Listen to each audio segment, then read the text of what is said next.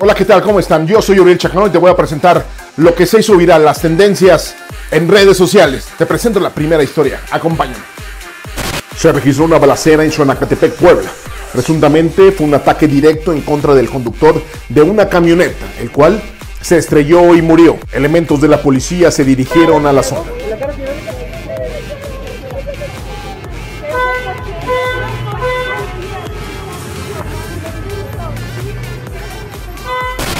Este lunes en Puebla se inició con un nuevo decreto para la atención contra el COVID-19.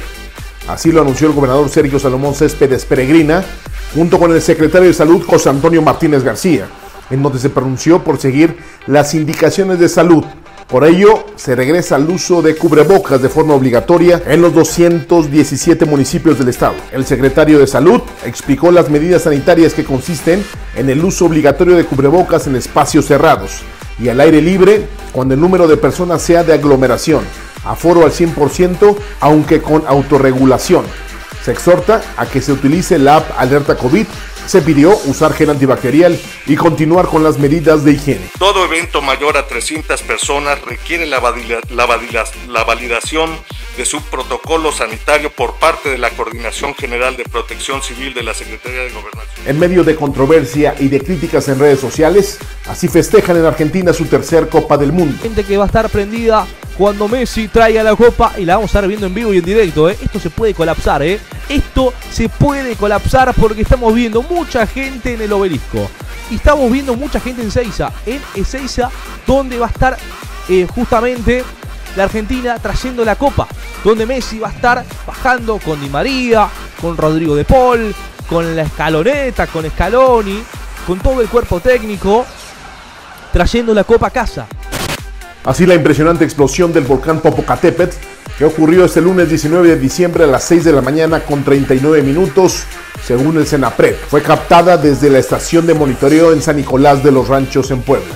Don Goyo está activo, debemos estar a la expectativa.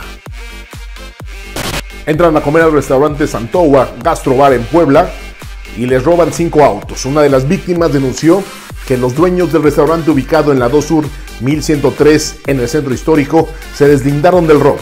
Al parecer fue personal del Ballet Parking el que robó una camioneta y cuatro autos. Cuando los dueños salieron del restaurante este sábado, no les devolvieron las unidades. Y ahorita me estás diciendo tú que no va a responder. Responder acerca de la situación. No, lo tengo grabado. No va a responder. No, Usted no va a responder.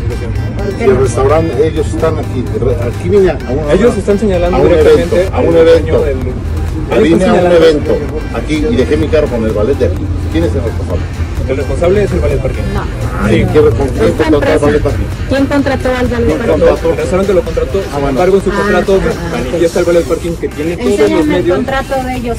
Quiero saber su empresa de ellos. Ellos ya nos dijeron y no todos tenemos grabado. Ay, vamos a Todo tenemos hacer grabado. que no están dados de alta como empresa, no tienen empresa, no nada. En este momento estás informado, déjanos tu comentario, tu like y comparte este video. Nos vemos en el próximo corte informativo. Adiós.